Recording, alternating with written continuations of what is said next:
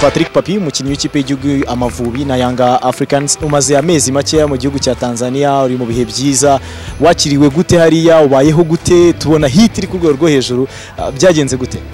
Ah, urebye nakiriwe neza cyane ku buryo nanjye bya- byandenze ku buryo nakiriwe ntabwo ariko wenda nabikekaga.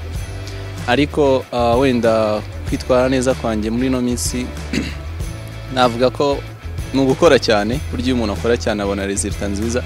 Ni ugukora cyane kuko urabona iyo ugiye hanze uba ugomba gukora kurusha bene gihugu. Niyo ntego nagiye mfite.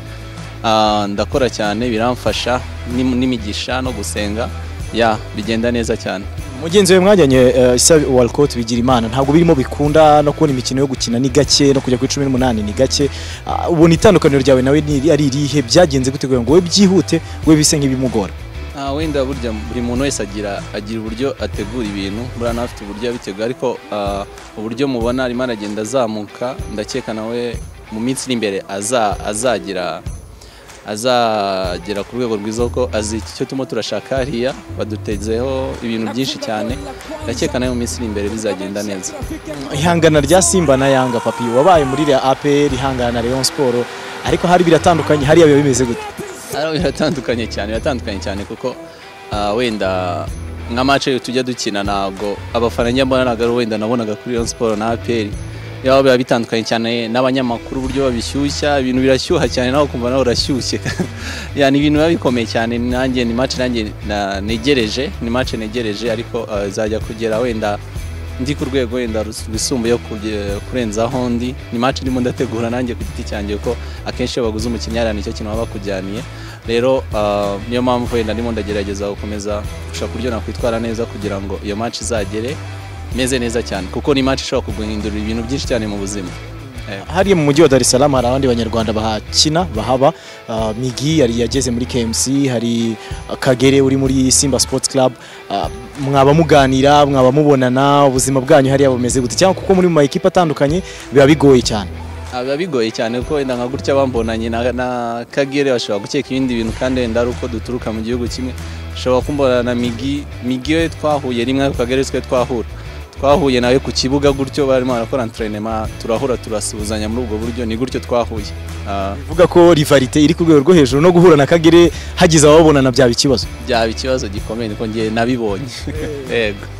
Ah, papi wageze muri kiriya gihugu hari karagiteri yo gutsinda wari umaze iminsi mi- udafite haba mu rwanda mu yindi mikino wagiye ukina Ah, um, kuva ugeze Dar es Salaam umaze gutsinda ibitego bingahe?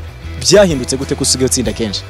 Aha wenda ikintu navuga ah, ikintu navuga wenda nasobanukiwe football. Kuko ah, cyangwa n'ubukure niko navuga mu mu mupira kuko ntabwo ntabwo mazemo igihe kinini ariko ntabwo mazemo igihe gitoya ariko nyine eh, kugenda ukura ari byinshi cyane. Ugenda ureka ah, ureba icyo abantu benshi bareba. Kuko football y'iki gihe bareba igitego bareba assist.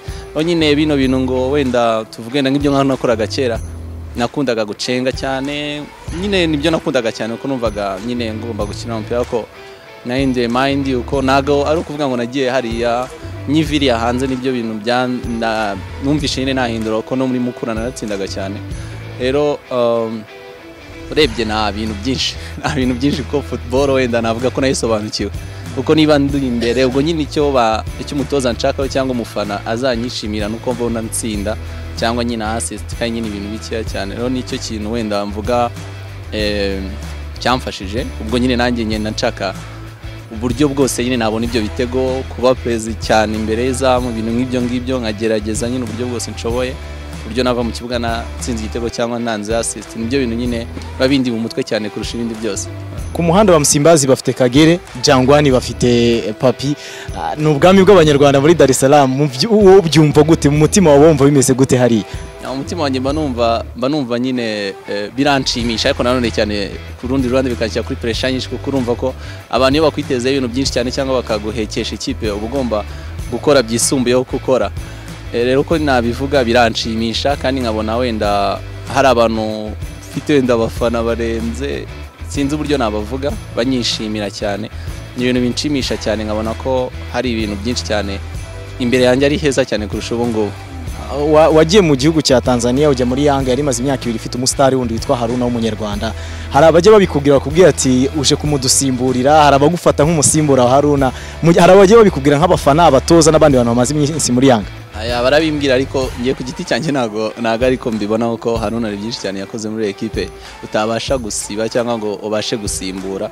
Ako nyine burya ugerageza gutera ikirenge mu cya mu cya mugenzi wawe kugira ngo urebe ko iryo zina ryagumya kubaho kuko nanjye hari izina rya Haruna ririmo riramfasha cyane riramfasha cyane muri ekipe cyangwa muri Tanzania muri rusange kuko hari byinshi cyane ngenda mpura na byo wenda akampamagara akambwira ugomba kugenza gutya cyangwa gutya na gutya.